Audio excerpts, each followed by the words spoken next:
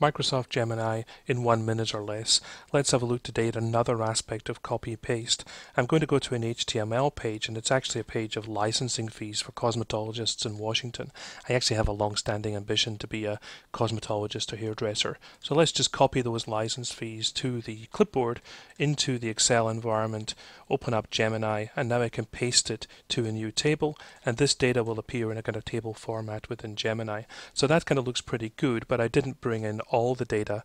If I go back to the HTML environment, maybe this new data has just arrived. Maybe I decided late on that I actually want to include additional data. So let's copy that to the clipboard back to the Gemini environment and you see I've got an option to paste append. Paste append will add my new rows to the existing table just as if I was appending data at the end.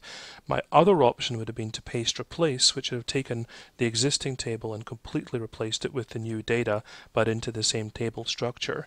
Those two options, um, paste append and paste replace, are both kind of very flexible options for keeping your copy and pasted data refreshed in Gemini. We find them kind of pretty useful.